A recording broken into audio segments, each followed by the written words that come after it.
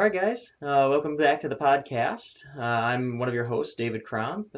And I'm Craig Thomas. Looking forward to this discussion. Yeah, we're, we're today we're going to be talking about difficult airways, kind of a, a, an interesting topic to me, and I think to, to most of us. Um, we're going to kind of go through some of the stuff you can do with difficult airways, but I think the best way to do that is going to be to kind of talk about our experiences. Craig and I were chatting the other day, and it turns out both of us have recently had difficult airways, both of them in a cardiac arrest situation. But what we're going to talk about today, you can really apply to anyone, right? So the last uh, difficult intubation I'd had was out at a cardiac arrest, a gentleman on the ground, um, multiple failed attempts at the airway, was able to bag okay without resistance. Um, but like I said, multiple failed attempts, difficulty seeing the cords. Um, so we started talking about different things we can do, right? So naturally, I think everyone's go-to is the Mac 3 um, when you're intubating. Some people like a 4. This gentleman was a, you know, probably over six feet tall, and so the first thing I did was I swapped out the blades, put on a bigger blade, um, gave me a bigger view of the throat, right? So we're looking there, and um, I seem like I can see the cords and everything's going well, except I can just see the very tip of the epiglottis, so I can kind of see the cords. So we go there. I or there'd already been multiple attempts with just a straight stylet and a tube, so I went right to bougie. Um, it was tricky because the, again, there's compressions going on. They had the AutoPulse running, um, but I passed the tube and I, I'm like, oh no, this isn't quite in. So we pull out, we start bagging him up again, um, and at that point, we're like, we need to do stuff to make our view better. So this is a low lit area. And we slide the patient probably a foot downward, so we're in better lighting. That was the first thing we did.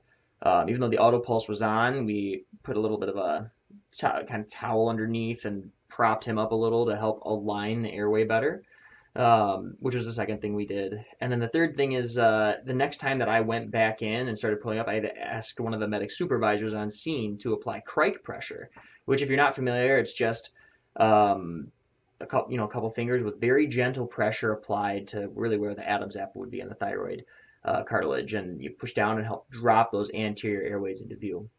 And even with all that, I got a little bit better view of the epiglottis, uh, kind of brief view of the cords. I took the bougie, straightened it, um, slid it through. The medic supervisor was like, I can, you know, she felt him go through, um, buried the bougie down deep and slid the tube over. Uh, first end tidal was around 30, and he was bagging okay. We heard breath sounds bilaterally. Um, we, uh, you know, had nothing over the stomach, and so I stepped away and continued to bag, and probably three to five minutes later, end tidal dropped down to zero. Um, took another look in because that's the first thing you do, right? Is check your tube, and like, well, I can't really see where it's going because everything is so deep in this gentleman. And uh, eventually, I just kind of made the decision. I was like, you know, I was talking to Craig, and I was like, what would you do in this scenario? And yeah, I mean, if you're having difficulty, especially in a cardiac arrest situation, uh, an LMA is always a good rescue uh, if you're really having a difficult time with uh, intubation. And almost everything we learned at the most recent NAEMSP national conference uh, was that LMAs are equally as effective as endotracheal intubation for cardiac arrests specifically. Um, so if you feel like you're having um, difficult time getting the airway, specifically in a cardiac arrest situation, uh, an LMA is appropriate uh, to continue on in your arrest efforts. I mean, ultimately, even if it's not an arrest situation, an LMA is always going to be your backup. Yeah. Um, and that's airway. yeah, that's exactly what we did. We swapped out for the LMA, and his you know end tidal at that point was in the 60s or 70s. Um, so keep in mind, LMA is a great backup. You can, you know, if you get pulses back, that's great. You've got a way to oxygenate them.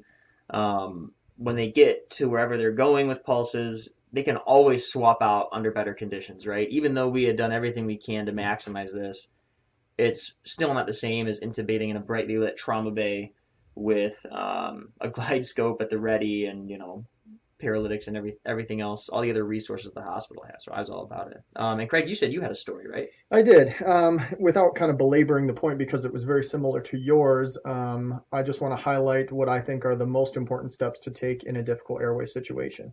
I think first is the making sure you have the appropriate blade size. David talked about he was using a Mac or it was a Mac 3 that was being used. I generally will start with a Mac 4, but if you don't have the appropriate size blade, uh, that is the first thing you want to try to change. The next is position of both the patient and yourself. Uh, so if you're kind of tucked in a bathroom and you feel like you can't either get an appropriate position yourself or if the patient uh, is just laying flat, you really want to get something underneath their shoulder blades and their head so you're more in a sniffing position where the head is actually slightly elevated um, so that when you tilt the head back, the, the vocal cords are not going to be extremely anterior, uh, which is usually what's going to happen if the patient is laying flat. Um, and then the next thing is really your bougie. Uh, if you're having difficult time passing with a normal stylet, uh, practicing with your bougie to get the tactile feel of what the vocal cords um, and the trachea feel like uh, is super important if you're only able to visualize a portion of the airway. Um, those are all things that I think make a big, yeah. big difference uh, if you're still going for the endotracheal intubation, and then if you're still unable to, obviously, as we talked about, the LMA uh, is your next move. But I think on top of just kind of uh, what you do in the situation, it's also recognizing when you're gonna have a difficult airway, particularly not just in an arrest situation, but when you have somebody who's still alive um, and you want to go over some of those things that might indicate that you're going to have difficulty? Oh yeah, and uh, I mean I should mention too while we're talking about maneuvers we can do before we move on to the difficulty like prepping for a difficult airway. Um, the medics I was with that day did have suction ready like immediately, which is a great thing to see because you never want to intubate without suction. Um, you never know what you're going to find. But so again, we're in the emergency field. We anticipate every airway is going to be a difficult airway, but there are a couple things where you see it and you're like, I know that this is going to be rough. So, right? So patients with beards, big, long, bushy beards, tend to be harder to pre-ventilate, which is important because it gives you more time to intubate. Um, people with the redundant chins, I guess you could say, so obesity around the neck, hard to intubate. If you see any kind of surgical scars around the jaw or the face, difficult to intubate. Um, but also paying attention to neck mobility, patient in a cervical collar, harder to intubate. Uh, jaw mobility, if you've got a patient with a very small mouth, expect that you're going to have difficulty fitting a blade into the mouth. You know, sometimes a Mac, sometimes you need a Mac 4, but all you can fit in there is a Mac 3. Um, and so any, anything that shows a sign of obstruction, if you got swelling around the neck, if you see a post-thyroidectomy scar around the neck, expect expect a, a tough time. Um, yeah, and if you're having any of those signs, then that's when you really kind of need to be thinking a step ahead as you're going for your airway. Yeah. Already have your bougie ready, already have your LMA out, have your partners assisting you, and uh, that way, if you know you're going down your algorithm, that you've already kind of thought a couple steps ahead, kind of like a, a grandmaster chess player. So, yeah. Uh, if anybody has any additional questions or stories, uh, stories they want to talk about their airways, that's kind of a, a, mainstay of EM and EMS care. So we're happy to chat uh, with anybody about that. Thanks for listening, guys.